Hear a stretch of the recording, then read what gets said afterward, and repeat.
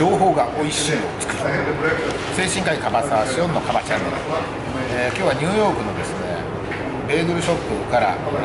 朝食を食べながらですね、まあ、動画撮影をお伝えしています。えー、ベーグルって食べ物皆さんご存知でしょうか、まあ、日本でも最近、えー、ベーグル屋さんが結構できてきているので、まあ、食べたことがある人も多いと思うんですけどドーナツみたいにですね丸い輪っか状の形をした結構歯ごたえのある、え、パンでございます、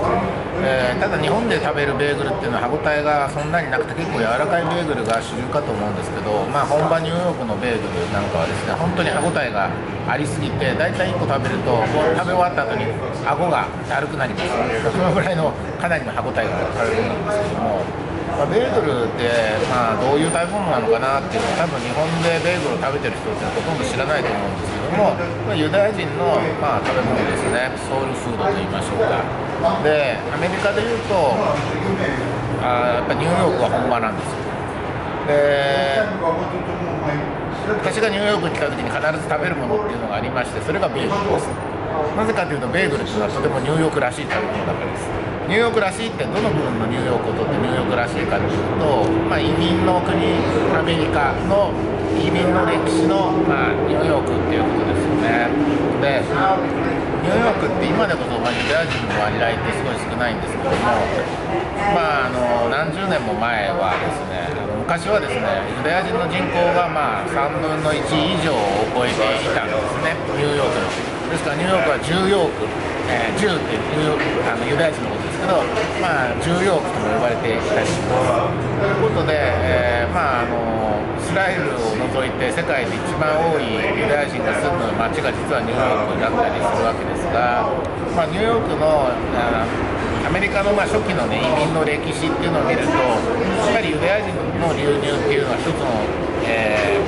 ーニューヨークの移民の歴史を見るとユダヤ人がたくさん入ってきた時期っていうのがあってそのユダヤ人がまあローアイーストサイドっていうマンハッタン島の、えーと、南側の、えー、東側です。そういったところにね住んで今もほんの少しだけユダヤ人街なんかが残っているわけです。その後にですね、まあ、アイリッシュアイルランド系の移民とかがわーっと入ってくるんですけども結構まあ古くからの、まあ、ニューヨークの移民の一つとして、まあ、ユダヤ系っていうのがあります。でまあ、そういった人たちが、あの食べる一つの、まあ、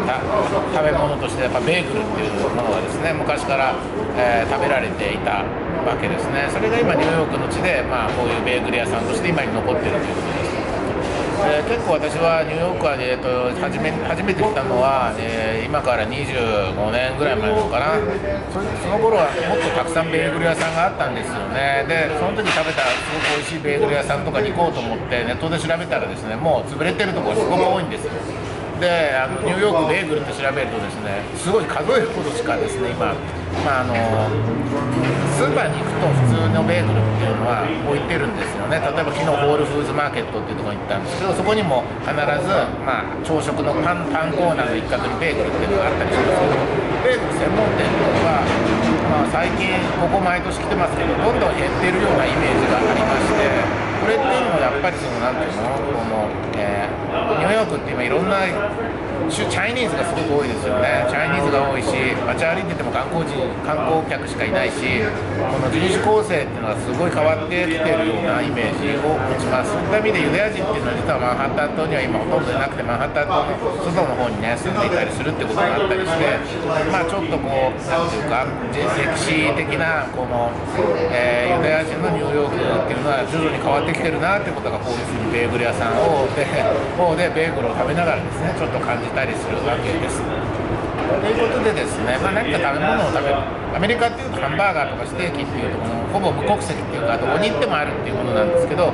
その地域にしかないローカルフードって日本なんかだとどこ行っても郷土料理ってありますけどアメリカの場合はあんまりそれがないんですがこういうふうにちゃんとですね探してみるとか情報を入れていくとですねあのその例えばニューヨークだとこういうのがあるよとか他の地域だとこういうのがあるよとかですねそういうのってのはやっぱり郷土フードソウ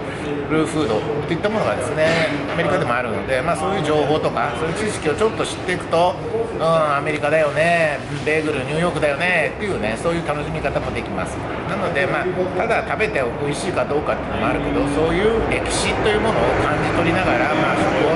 楽しむ。まあ、その食の背景にあるですね歴史的な背景を知るとこういうふうにちょっと面白い、え